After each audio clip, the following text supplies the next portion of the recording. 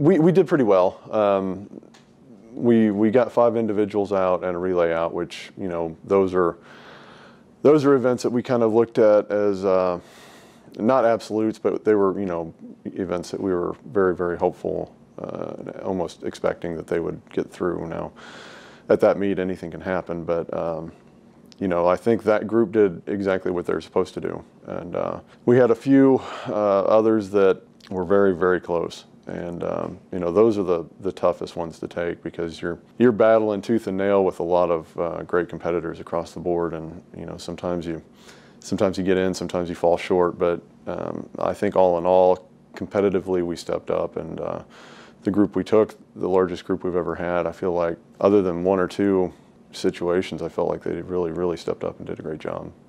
We've got a few seniors in that group, um, so it's kind of a bittersweet trip. Um, Luke Vaughn, this is his third trip uh, to the NCAA championship. Same for Michael Kritikos. Um, for Martina, she has been the cutoff two times, so this is her first actual trip, and uh, probably the the most exciting event for me to see, uh, and just the the joy and just sheer will that she displayed uh, to make sure that she wasn't in that position again.